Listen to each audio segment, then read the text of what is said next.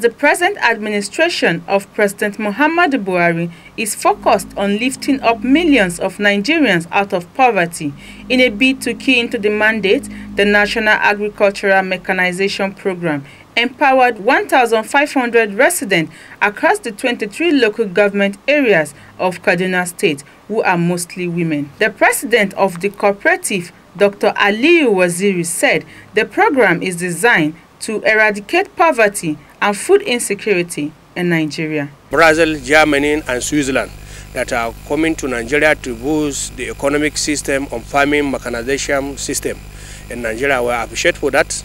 Then secondly, the Nigerian farmers, they are ready to go to the farm. We are ready and commence to the agenda of Mr. President of the diversification agenda from oil to non-oil sector to create more job opportunity to the Nigerians and alleviate the poverty. Dr. Aminu Abdul, the vice president of the cooperative, said the beneficiaries are to go through a one-month compulsory intensive training to help manage the business. The applicant are expected to undergo a compulsory one-month intensive training that covers poultry management, that covers entrepreneurship, and financial discipline. Sanusi Abdullahi, the Kaduna State Coordinator, said effective communication will be needed to monitor the beneficiaries on the progress in the poultry management. A platform for the 23 local government and as well will have a platform for me and the three zonal coordinators.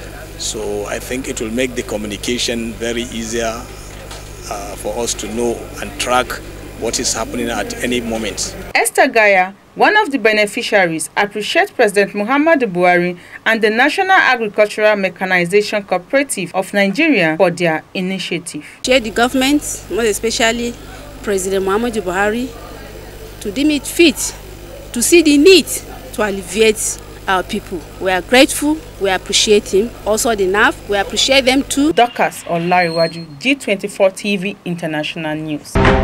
Thank you.